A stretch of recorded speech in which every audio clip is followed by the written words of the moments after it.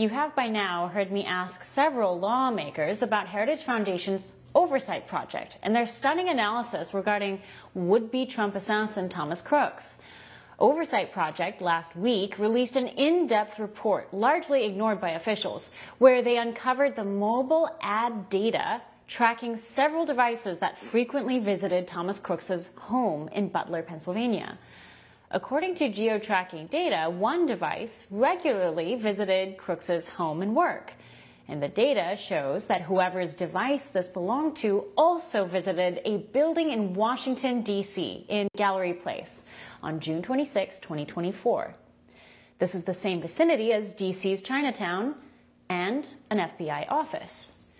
And just to recap Thomas Crooks and why dozens of special operators and former intelligence operators are expressing grave doubts this kid acted alone, First, you have this gunman who was able to procure the perfect vantage point on Trump in the open.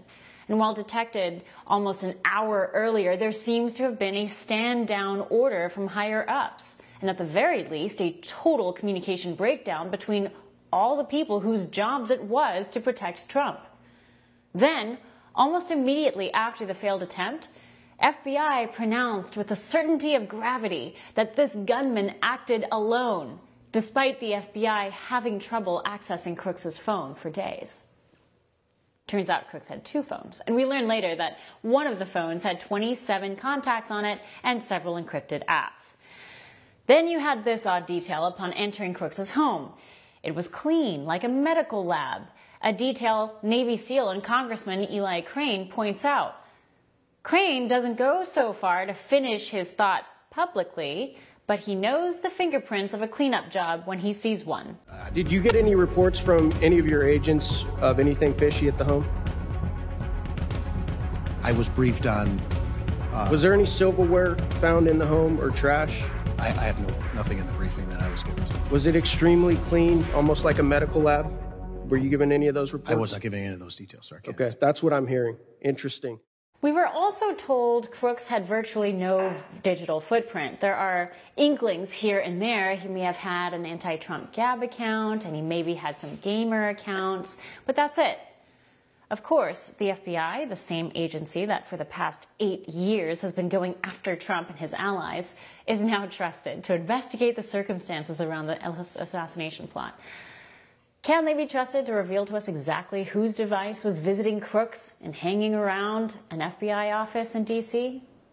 Are we to believe that device was merely a friend of this lone kid?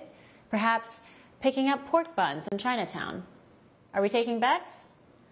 Here's FBI head Chris Wray rushing to establish a profile and picture of Thomas Crooks before Congress. Um, and so one of the things that I can share here today that has not been shared yet is that we've just in the last couple days uh, found that from our review, to your point about devices, uh, analysis of a laptop that the investigation ties to the shooter uh, reveals that on July 6th, he did a Google search for, quote, how far away was Oswald from Kennedy? Wow. So glad the FBI could get into his Google search engine. Great work, boys.